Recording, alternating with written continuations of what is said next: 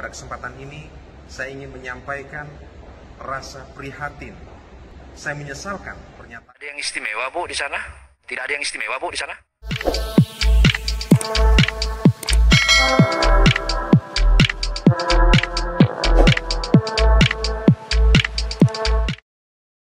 Pada kesempatan ini, saya ingin menyampaikan rasa prihatin. Saya menyesalkan pernyataan saudara saya, HM Bakri, anggota Komisi 5 DPR RI, yang menyatakan bahwa Nusa Tenggara Timur tidak memiliki potensi pariwisata yang istimewa. Dan dengan demikian, mestinya pemerintah tidak terlalu memberikan perhatian ekstra khusus buat NTT. Saya ingin mengatakan pernyataan ini sungguh jauh dari fakta yang sesungguhnya. Kalau NTT tidak memiliki keunikan, kekasan, dan potensi pariwisata yang luar biasa, tentu hari ini tidak akan banyak wisatawan mancanegara maupun wisatawan domestik yang akan datang ke Nusa Tenggara Timur. NTT memiliki potensi pariwisata yang luar biasa. Ada wisata alam, ada wisata bahari, ada wisata budaya, yang saya kenakan ini, ini merupakan tenun khas Nusa Tenggara Timur. Dan kita tahu dari 22 kabupaten kota NTT memiliki tenunan khas tersendiri yang memiliki eksotisme dan keunikan serta kekasan tertentu. Dalam tenunan ini tersirat banyak pesan dan juga kearifan lokal. Kita kenal yang namanya Danau Tiga Warna Kelimutu. Terletak di Kabupaten Ende, di Ende pula ada destinasi pariwisata, situs Bung Karno. Bung Karno, pendiri republik ini, pernah diasingkan, dibuang di Ende, Nusa Tenggara Timur. Dan ketika di Ende, Bung Karno menjadi sosok yang sangat reflektif, sangat kontemplatif. Di sana, Bung Karno mendapatkan ilham tentang dasar negara Pancasila, tentang ideologi. Dan kemudian Bung Karno mengatakan, di NTT ini, di sinilah kugali dan kutemukan nilai-nilai luhur Pancasila. Kalau mungkin Anda pernah mengetahui Lama Lera. Lama Lera adalah Eh, alangkah baiknya mungkin ke depan bu, di setiap anggota itu didata program-program wisata yang ada di daerah. Ini rasa keadilan bu. Saya kemarin diajak oleh teman-teman eh, Komisi 5 kunjungan ke NTT. Ada yang istimewa bu di sana. Paling yang istimewa itu komodonya aja bu. Lihat pantai, lihat apa di tempat saya di Jambi itu banyak bu pantai begitu. Lihat pantai, lihat apa di tempat saya di Jambi itu banyak bu. HM Bakri, anggota Komisi 5 DPR RI, yang menyatakan bahwa Nusa Tenggara Timur tidak memiliki potensi pariwisata yang istimewa. Dan dengan demikian, mestinya pemerintah tidak terlalu memberikan perhatian ekstra khusus buat NTT. Saya ingin mengatakan pernyataan ini sungguh jauh dari fakta yang sesungguhnya. Kalau NTT tidak memiliki keunikan, kekasan, dan potensi pariwisata yang luar biasa, tentu hari ini tidak akan banyak wisatawan mancanegara maupun wisatawan domestik yang akan datang ke Nusa Tenggara Timur. NTT memiliki potensi pariwisata yang luar biasa. Ada wisata alam, ada wisata bahari, ada wisata budaya. Yang saya kenakan ini, ini merupakan tenun khas Nusa Tenggara Timur.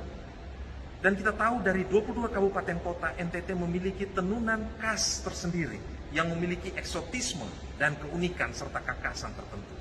Dalam tenunan ini tersirat banyak pesan dan juga kearifan lokal. Kita kenal yang namanya Danau Tiga Warna Kelimutu. Terletak di Kabupaten Ende. Di Ende pula ada destinasi pariwisata, situs Bung Karno. Bung Karno, pendiri republik ini, pernah diasingkan, dibuang di Ende, Nusa Tenggara Timur. Dan ketika di Ende, Bung Karno menjadi sosok yang sangat reflektif, sangat kontemplatif. Di sana, Bung Karno mendapatkan ilham tentang dasar negara Pancasila, tentang ideologi. Dan kemudian Bung Karno mengatakan, di NTT ini, di sinilah kugali dan kutemukan nilai-nilai luhur Pancasila. Kalau mungkin Anda pernah mengetahui Lama Lera. Lama Lera adalah satu wilayah di ujung timur Nusa Tenggara Timur, persisnya di ujung timur Pulau Flores. Di sana ada perburuan ikan paus. Tidak ada keunikan-keunikan pariwisata seperti ini. Belum lagi kita bicara Sabu dengan Kalabamajanya. Kita bicara Pulau Rote di ujung selatan memiliki potensi wisata yang luar biasa. Apalagi Pulau Sumba.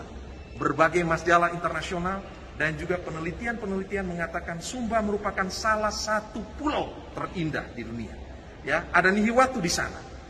Potensi lautnya, potensi baharinya, bahkan padang savana dan kuda sandalwoodnya menjadi ikon tersendiri buat Nusa Tenggara Timur. Kalau NTT tidak indah, Valentino Rossi tidak akan datang mengunjungi Labuan Bajo. Kalau NTT tidak luar biasa, David Beckham dan keluarganya tidak mungkin satu minggu akan ada di Niwatu dan berkeliling ke Pulau Sumba. Kalau NTT tidak istimewa, tidak akan ada syuting Miss Universe dengan produk UC-nya dan tidak akan ada syuting iklan Ferrari di Provinsi Nusa Tenggara Timur. Tentu ini semua menggambarkan bahwa sebenarnya Nusa Tenggara Timur memiliki potensi yang luar biasa. Saya mengatakan NTT adalah the masterpiece of God, karya agung Tuhan, karya ilahi, sesuatu yang indah, yang selama ini mungkin kerap kali dilupakan dalam pembangunan ini. Bicara Indonesia Timur, bicara Nusa Tenggara Timur, seperti juga Papua, seperti juga Maluku, sebenarnya memiliki kekayaan alam yang luar biasa. Dan baru pada era Presiden Joko Widodo ini, beliau memberikan atensi dan kepedulian yang besar untuk membangun daerah-daerah ini.